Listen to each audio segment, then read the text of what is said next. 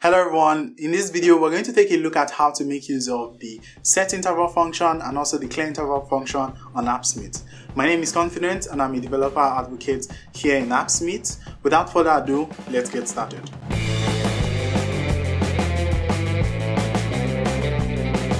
Alright, so taking a look at the application we have on the page, we have a simple application that consists of a table widget and we have this table widget displaying data from the getBooks query. So the getBooks query is making use of the Google Sheets integration as you can see right here and we have data being fetched from a Google Sheet. So taking a look at the sheets, uh, this is the Google Sheets data we have and we have configured the getBooks query using the Google Sheet integration available on AppSmith.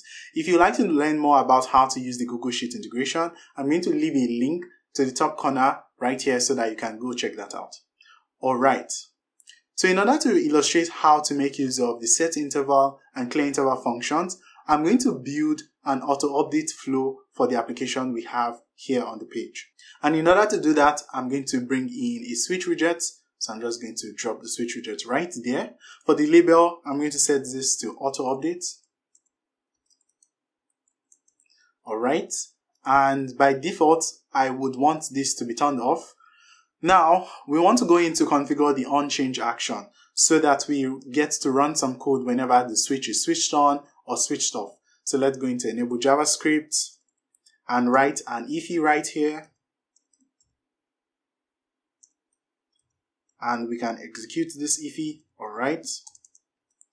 All right. So the first thing I want to do here is to write an if statement that will run the auto update using the set interval function we have on AppSmith. So this is going to be if, if the switch is switched on, so we have switch one,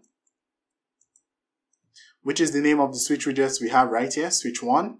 So if switch one dot is switched on is true, what we want to do is to run the auto update using set interval. So this is going to be set interval.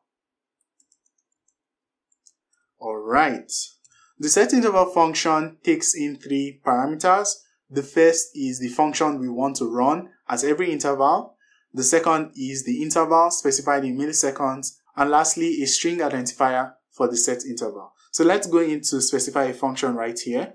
So this is going to be the function. We want to call the get books query each time. So this is going to be get books.run.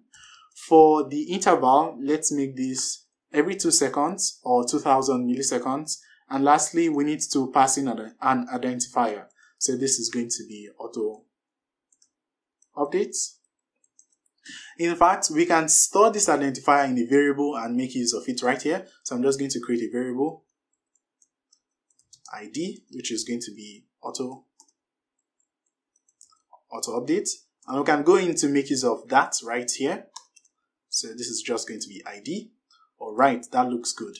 For the else clause, what we need to do is to clear that interval given the ID. So we can use the clear interval function. All right. And we can go into passing the ID which would be the auto update string we specified right here. Alright, so that looks good. We can go in to give this a try by turning this on. And we see that the sheet is going to be auto updated every 2 milliseconds using the set interval function we specified.